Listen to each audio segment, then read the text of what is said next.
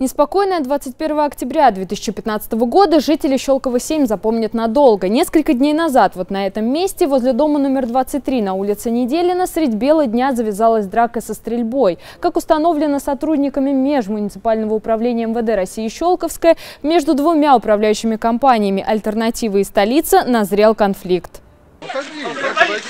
Папа!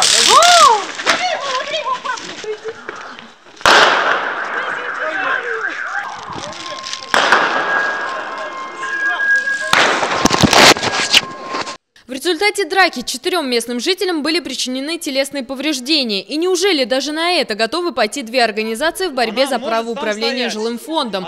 Компания «Столица» утверждает, что зашла на управление домом на неделе на 23 по открытому конкурсу администрации района. Другая альтернатива заявляет, что она полноправно управляющая организация этого дома по результатам собрания жителей.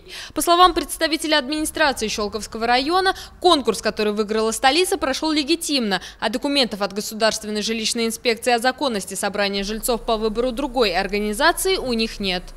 По предписанию Государственной жилищной инспекции Московской области мы э, нас обязали выставить многоквартирные дома, которые без управления, на конкурс, на открытый конкурс. Э, после чего, по итогам которого по данному дому Неделин 23 выиграла э, управляющая организация э, ООО «Столица». Государственная жилищная инспекция Московской области не проверила еще на данный момент легитимность э, управляющей организации «Альтернатива». Он должен быть официальным письмом. На, нам такие документы пока не перестали. В результате инцидента со стрельбой сотрудники полиции задержали пять человек в возрасте от 20 до 26 лет. Молодые люди приехали в Щелково из Ставропольской, Астраханской и Тульской областей и всего неделю работают в управляющей компании «Столица». А в Щелково что Работал делаете? по трудоустройству, по трудовому договору. А где работали?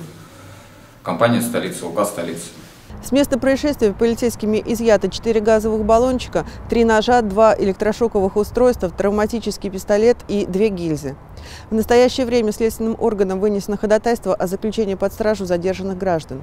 По данному факту в Следственном управлении Межмуниципального управления МВД Российской Федерации Щелковская возбуждено уголовное дело по части 2 статьи 213 Уголовного кодекса Российской Федерации «Хулиганство».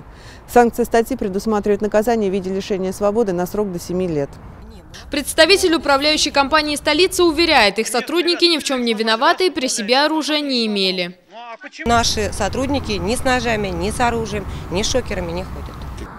Спорными домами являются не только многоэтажки в Щелково-7, но и жилой фонд на Дальнем Воронке. Жители дома 92 на улице Центральная, например, пострадали, лишившись окон. Ситуация напоминает лихие 90-е, однако на дворе 21 век и подобные проблемы должны решаться по закону. По данному делу ведется следствие. Сотрудникам полиции, видимо, придется сильно постараться, чтобы разобраться в деле. Мария Масайли, Михаил Черепанов, телерадиокомпания «Щелково».